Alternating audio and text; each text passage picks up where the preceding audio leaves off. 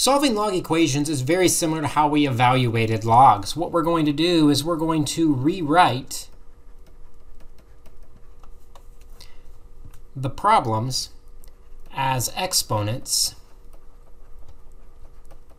and solve. Let's look at some examples.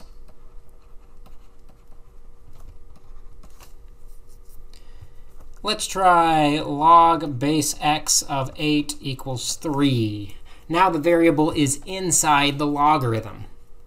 That's OK. We're just going to rewrite it as an exponent problem, x to the third power equals 8, and solve the resulting equation. The opposite of taking a third power is taking a third root. So we'll do that to both sides. And we end up with x equals the cubed root of 8, which is just 2.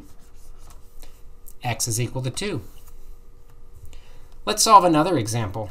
Let's consider log base 5 of 2x minus 6 equals 2.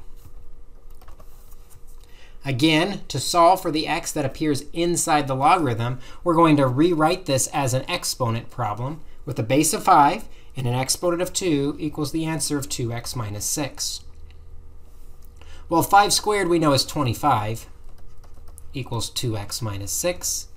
And then we can solve by adding 6 to both sides, giving us 31 equals 2x. And finally, dividing both sides by 2. And so the x in there is 31 halves, or 15.5. So in general, when working with logs and exponents, we just want to be able to move back and forth between the two.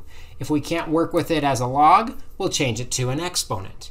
If we can't solve it as an exponent, we'll change it to a log. And it doubles the amount of ways we have to solve a problem.